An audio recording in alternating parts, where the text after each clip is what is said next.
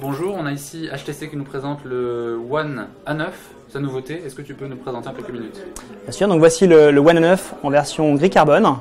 Euh, comme vous pouvez le constater, on a vraiment euh, travaillé le, design. L'idée c'est vraiment d'épurer au maximum le design, euh, tout en gardant le côté métallique et l'ADN des, précédents One, pour mettre en avant le contenu. Donc là vous avez un, écran 5 pouces AMOLED on intègre également en façade un, lecteur d'empreintes digitales qui va permettre de déverrouiller le, produit euh, seul, d'une seule pression. Euh, sur la partie matérielle, on a une caméra 13 mégapixels au dos avec de la stabilisation optique. En façade, vous allez retrouver la caméra ultra pixel pour faire des magnifiques selfies, même en basse luminosité. Sur la partie son, euh, le jack euh, est, en fait, bénéficie d'une chaîne 24 bits ARS euh, sur, sur, les contenus.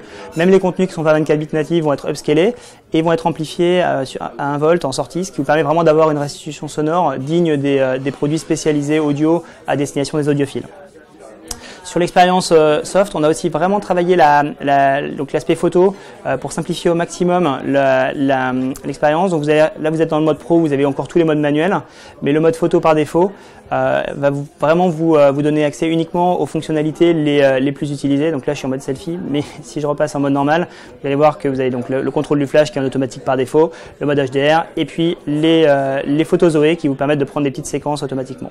En, en mode selfie, on avait un, un réglage de la pour le maquillage, c'est ça? Oui, alors le maquillage, bah, c'est automatique, c'est pour, voilà, ça permet de cacher les petites aspérités si vous le souhaitez, pour les plus coquets d'entre vous. Et en mode pro, on a l'accès aux fichiers RAW.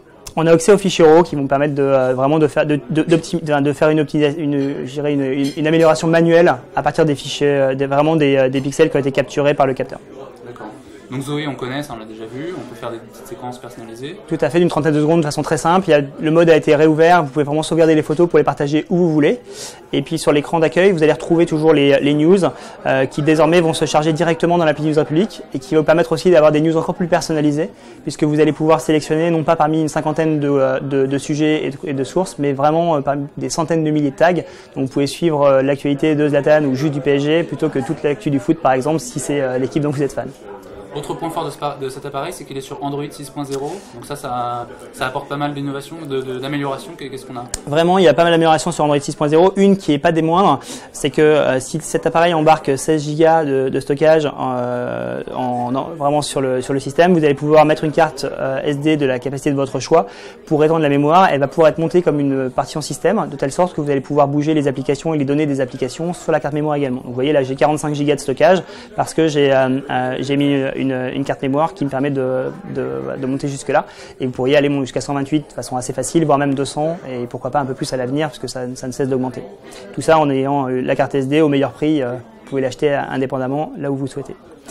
Euh, il y a des gestions optimisées de la, batterie, notamment pour le mode veille, qui vous permettent vraiment de prolonger la, batterie en veille. Euh, et puis pas mal d'autres petites, euh, d'autres petites améliorations sympathiques pour la, migration de vos données, euh, leur sauvegarde. Euh, et bon, il y a pas mal d'autres choses hein, dans Android 6.0, c'est la possibilité aussi d'être à jour à l'avenir euh, et de partir avec la, la, version qui vient vraiment juste d'être lancée. Donc le A9 c'est un produit qui s'intercale juste en dessous du M9.